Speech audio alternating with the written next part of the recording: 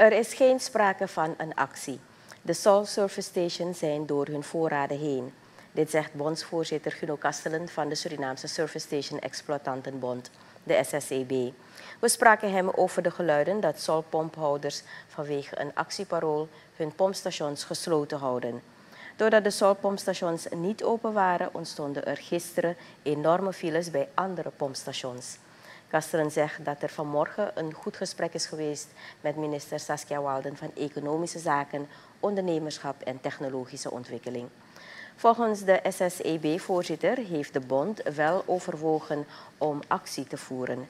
Het probleem van de oliemaatschappij schijnt volgens Kastelen te zijn opgelost, omdat de bevoorrading van de pompen weer op gang komt. Hij zegt dat benzineprijsverhoging een aangelegenheid van de regering is.